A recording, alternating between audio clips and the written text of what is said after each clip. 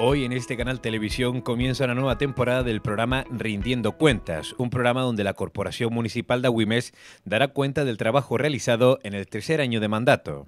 Jerónimo Romero será el encargado de presentar este espacio donde entrevistará en un tiempo limitado de 15 minutos a los concejales y concejalas del grupo de gobierno y de la oposición del Ayuntamiento de Agüimes.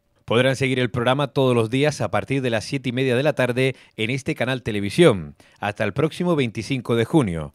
Una vez emitidos los programas pueden volver a verlos en la página web www.telaguimes.com y www.estecanaltv.com.